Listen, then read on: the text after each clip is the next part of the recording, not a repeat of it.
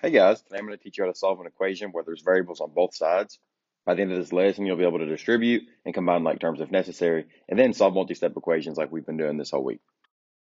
So go ahead and get out your binder, turn to the math section, and get ready to take some notes. Let's get started with a review of what we've done so far. So, so far we learned how to do one-step equations where there was only one thing being done to the x. There's only one variable and one operation. In this case, it was multiply. And we know that if there's a multiplication symbol here, the opposite of multiply is to divide. So we would divide both sides by that number. The two-step equations were a little more difficult. We learned we should go in reverse order of PEMDAS to solve this equation. We would draw a line on the equals, we would add the 7, we would divide by the 8, and we would follow the same process we did with the one-step equations, but now there was just multiple steps. The multi-step equations involved things like the distributive property. So sometimes we were distributing, we were dividing, we were combining like terms, doing all that on this side of the equation before we even started solving. Now today we're going to look at equations where the variables on both sides. Equations look like this. So now you can see there's more than one x. There's an x on this side of the equal sign and there's an x on this side of the equal sign. So at first this might look a little confusing, but just like we looked at, there's been the same process every time we've just been building on it. So this is just one more added step to solve equations like this. Just like the last ones, there is a process to this. So there's actually just steps you have to solve in order, almost like following a recipe that you can just go step by step to solve your equation. So step one and step two are going to be to distribute and combine like terms if necessary. So that just means do what you can do on one side of the equal sign before you do anything else. So if we look back at our equation we were just looking at, and I start just like I have in the past by drawing my line on the equals and separating my equation, and I just look at the left side, there's nothing I can distribute there's nothing I can combine. These are not like terms. So same thing with the right side. There's nothing I can distribute, nothing I can combine. So those first two steps are just checking your equation to see, is there anything I can do right off the bat? If you can't, then we have to move on to step three. And this is the most important step, and this might be the new thing. We have to collect our variables on the same side. There's an x on both sides of the equation in our example, so we're just going to pick a side to put it on. So this is the only new step. Now that we have an equation where there's a variable on both sides, the first and most important step to solving this is going to be to pick a side put your x's on.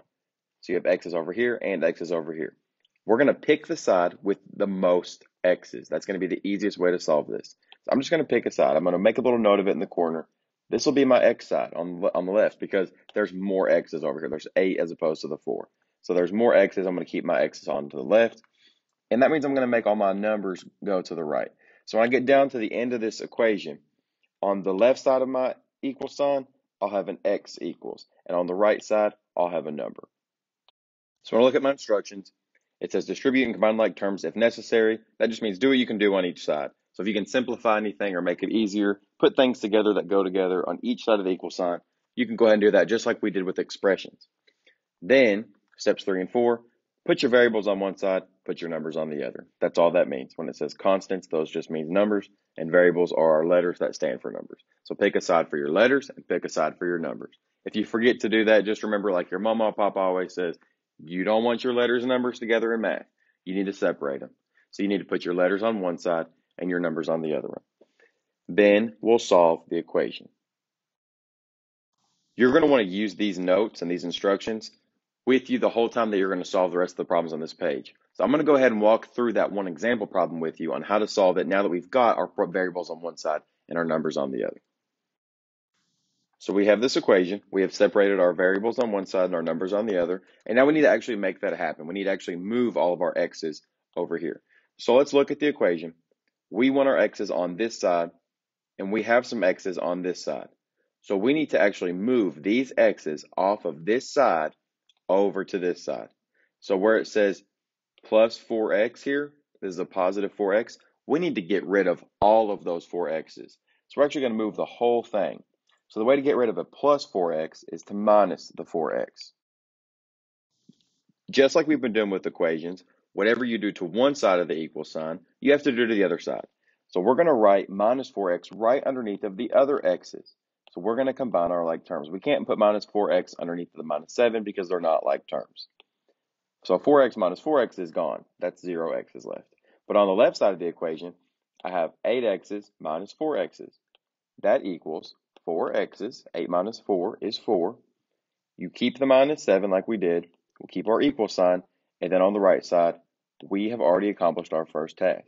We wanted only numbers on the right side. And so far, I only have numbers on the right side.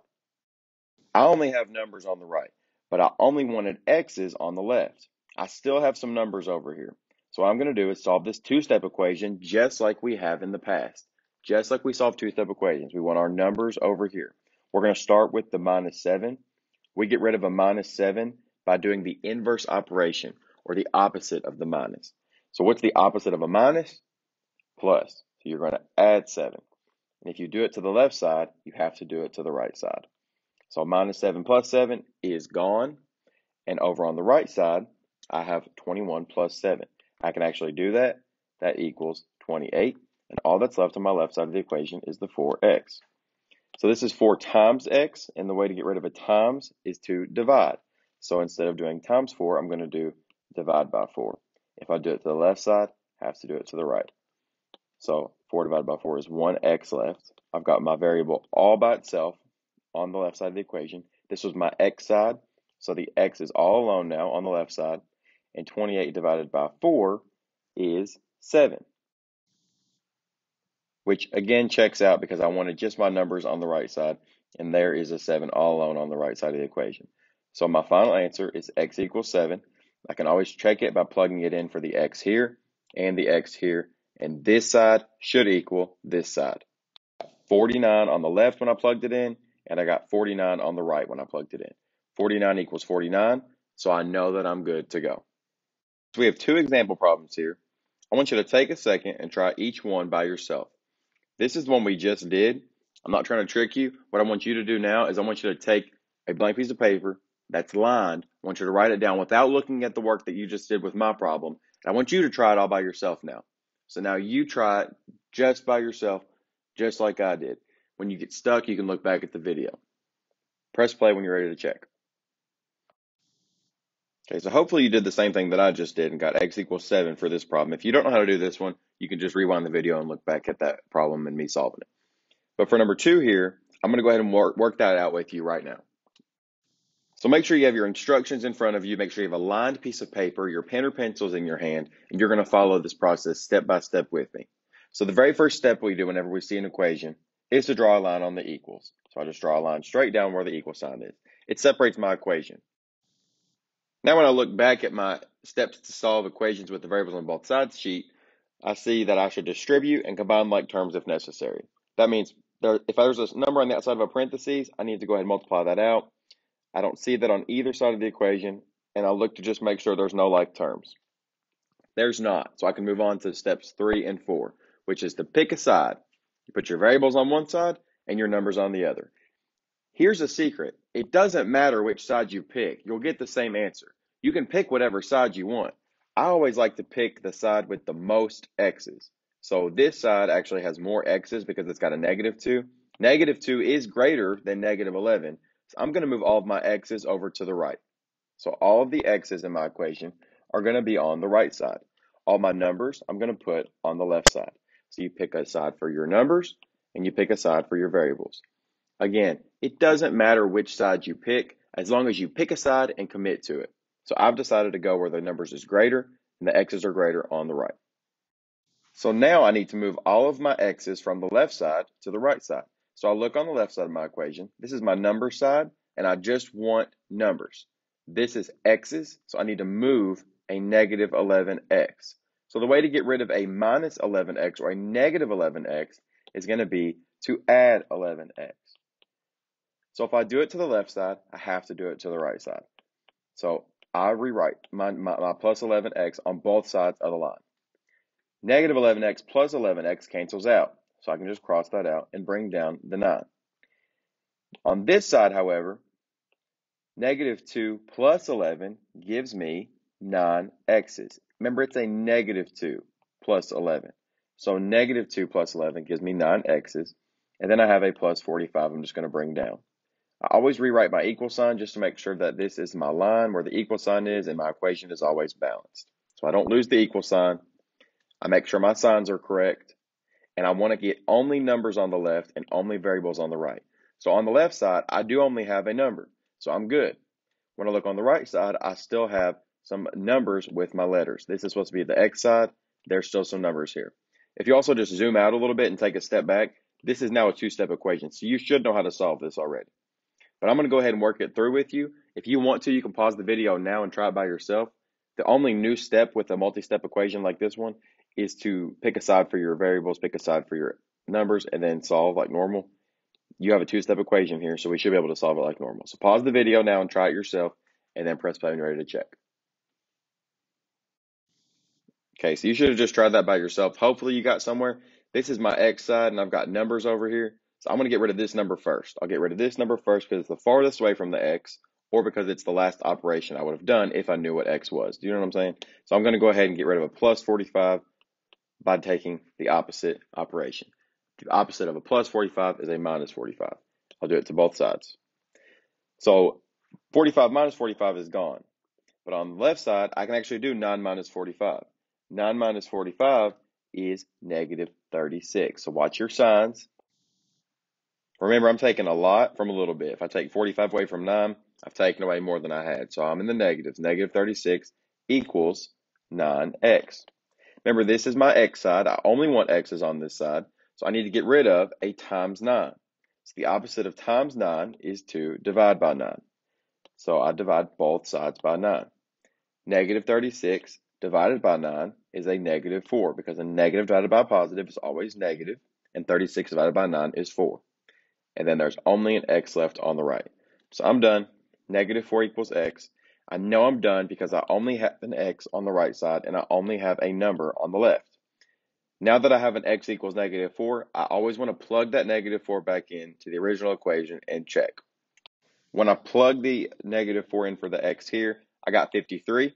And when I plug in the negative 4 for the x here, I also got 53. So on both sides of the equation, 53 equals 53, I know that I am correct. So I want to give you a chance to look at these by yourself some more. So I want you to now look at these now that I've worked through two practice problems with you. I want you to try these two all by yourself. So go ahead and try these two problems completely by yourself, and then I will also walk through them with you. Press play when you're ready to check. Okay, so you guys should have just paused the video, worked this problem out by yourself as much as you could, and now you're pressing play because you're ready to check it. Don't just watch me do it. You have to try this because the only way to get better at this is to practice it. So even if you just try one step and then you press play to check, at least you've tried one step by yourself. So if you haven't already, again, please pause the video and do at least one step and then press play and ready to check. Okay, so now for sure, if you're ready, I'm going to go ahead and just start by solving this out by drawing a line on my equal sign. It always just separates my equation. I look back at my instructions. I want to see if there's anything I can distribute or combine. I don't see anything that I can put together on each side of the equal sign. So then I'm going to go ahead and pick a side for my numbers and pick a side for my variables. I'm going to pick the left side as my x side because there's more x's there. So there's more x's, so I'm just going to pick that side, and I'm going to pick the right side for my number side. So now I'm going to move all of my x's from this side over to my left side. I wanted just x's over here, so I need to get rid of the x's on the right side of the equation. So I'm going to move a plus 6x by doing minus 6x. I need to get rid of a positive 6x, so I'm going to take away 6x's. So if I take it away from the right side, I'm going to take it away from the left side. So 6 minus 6 is gone on this side. And on this side, I do 13 minus 6. 13 minus 6 is 7 x's. And then I just bring down everything else in the problem. So if you got to this step and you did that right, go ahead and try the next step. If you haven't got that right and you just got that, go ahead and try the next step. It's a two-step equation now, so we should be able to do this. So if you haven't already, take a second, pause the video, and try this next step. Okay, so I wanted only my x's on the left side. I have 7x plus a 9. So I'm going to get rid of that number. I want to get rid of the plus 9 by taking the opposite of plus, which is minus. So I'm going to take away 9. So I do it to both sides. If I have a plus 9 minus 9, they're canceling. That's a zero pair. And on the right side, I have negative 12 plus negative 9. That is negative 21. So I have a negative 12 minus 9 or plus negative 9, and I got negative 21 with 7x's still left on the left. This is my x side, not my number side. So I need to get rid of the number here. So do you see I'm constantly checking to make sure this is my number side, this is my x side. I'm always checking to make sure that I'm on the right side of the equation and making sure what am I moving? What am I trying to do here? So I need to get rid of this times 7. So I'm going to divide by 7. If I do it to the left side, I have to do it to the right side. So x would equal negative 3. So my final answer is x equals negative 3. I know that I'm done because my x's are all alone on the left side and I only have a number on the right.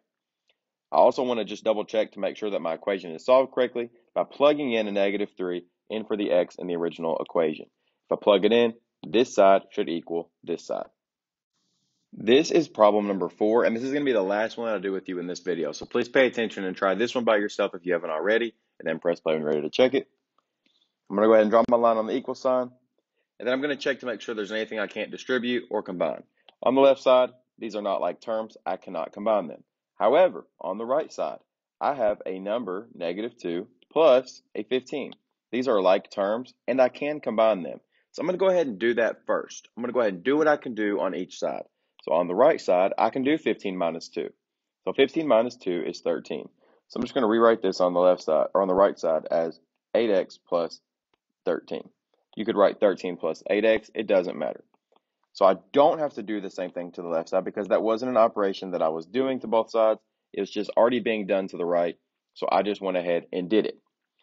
Now I look to make sure that there's nothing else I can do. There's not. Then I pick a side for my numbers and I pick a side for my variables. So I'm going to have the right side be the number side because there's more numbers over here. And then the left side is going to be the x side because there's more x's over here. So always pick the side with the most x's, but it doesn't matter how you how you solve this. You can pick either side and it'll work out the same way. So I'm going to start out by moving my x's from the right to the left. I'm just going to move this plus 8x. I'm going to minus 8x because it's a positive 8x's. I know that 14 minus 8 is 6. So I have 6x's plus 1 equaling 13. Now I just have a two-step equation I know that I want my numbers here on the right, so I'm going to get rid of this plus 1 off of the x side. I'm going to do that by getting rid of that, so I'm going to do a minus 1. 13 minus 1 is 12, and there's a 6x left on the left.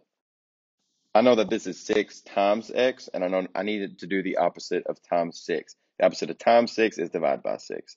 I have to do the same thing to both sides and end up with x equals 12 divided by 6, which is 2. My final answer is 2. I plug it in just to make sure that it works out to be the same answer on both sides, and it does. So x equals 2. So this is all that we're going to go through together today. Um, if you're looking at number 5 for a challenge problem, Allie is correct, but I'm not going to explain why. We can talk about that in class. All right, guys, that's it. If you made it to the end of this video, please put your favorite book in the comments. Today we went over equations with variables on both sides. So now you should be able to distribute and combine like terms if necessary, and then just solve multi-step equations following the steps that are in your notes. So go ahead and go back to the calendar and complete any other assignments you have left for the day. Let me know if you have any questions. Bye.